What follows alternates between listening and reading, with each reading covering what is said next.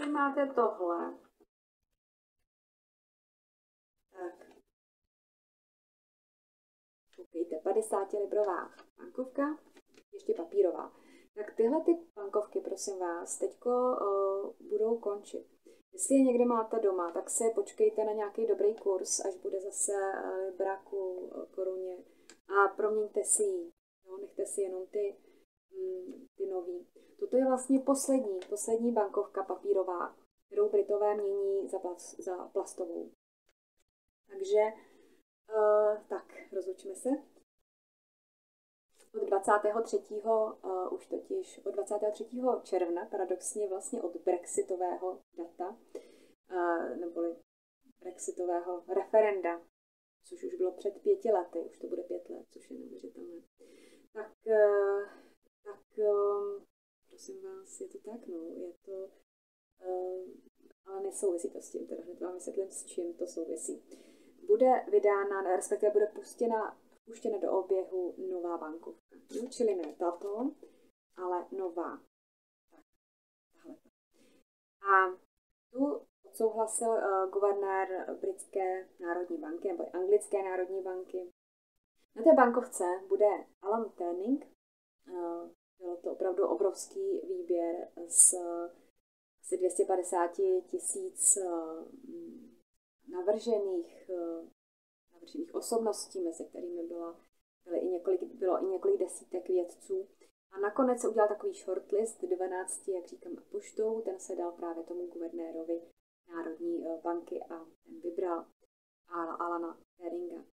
A kdo byl Alan Terning? Tak Alan Turing byl matematik, díky kterému, respektive díky jehož nákresům, se uh, mohla sestrojit uh, poté Enigma, respektive, pardon, ne Enigma, ale přístroj, který dokázala rozluštit Enigmu, díky čemuž se dá říct, samozřejmě se vyhrála válka. Tedy se vyhrála vždycky jedna strana vyhraje válku. Takže Britové vyhráli válku proti Němcům, protože vlastně rozluštili jejich, jejich eh, šifrovací zařízení tímto. Takže vlastně to je ono a plus vlastně on eh, pomohl, hm, vlastně potom podal ještě základy k dnešním počítačům, dnešní počítačové vědě, tak vlastně jeho formule, na základě jeho formulí vznikly eh, další objevy. Takže dá se říct, že, uh, že to byl poměrně velký vizionář a to je asi to hlavní. A plus, což je dneska ještě jakoby další takový bonus, je, že to byl gay, který byl pronásledován za to, persekuován, protože byl gay a byl eh, vsazen eh, ne do vězení, ale byl na rok, byl eh, ne ve vězení, ale dá se říct jakoby psychiatrický léčebně a byl, jakoby reha, byl léčený na to, aby přeléčený, aby prostě nebyl gay, protože tehdy by to bylo trestné. Takže z několika úhlů pohledu se dá říct, že i vlastně dnešní, což je dneska, je to zase, dá se říct, taková uh, takový trend, rehabilitovat homosexuály, což je vlastně na druhou stranu je to jako v pořádku, protože jít si za něco takového sednout nebo být nuceně na nějakým, nějaký psychiatrický léčebně, to je fakt jako neuvěřitelného něco. Ale důležité podle mě asi jako hlavně je to, že to, že to bylo významný matematik. Položil základy k něčemu, co známe ještě dneska. Takže to jsou asi takovéhle zásadní věci. A ještě důležité je tedy, on se totiž narodil toho 23. června, to znamená, že on eh, tedy 12, 1912. Ale tedy je to to eh, referendo, referendové jaksi datum, které ale nebylo vybíráno kvůli němu.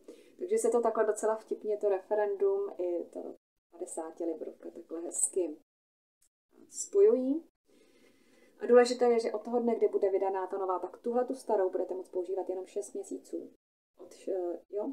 Po 6 měsících od 23. června bude stažená a nebudete s ní moc platit, takže zkuste se podívat, jestli náhodou někdo někde nemáte nějakou 50 librovou bankovku půl roku poté, čili ještě je to víc než půl roku. Budete moct ještě uplatnit. Tak to je asi tak všechno. No, ono by toho bylo asi více, ale myslím, že to zatím stačí. Tak mějte se hezky. Hezký den vám přeje Janina z Londýna.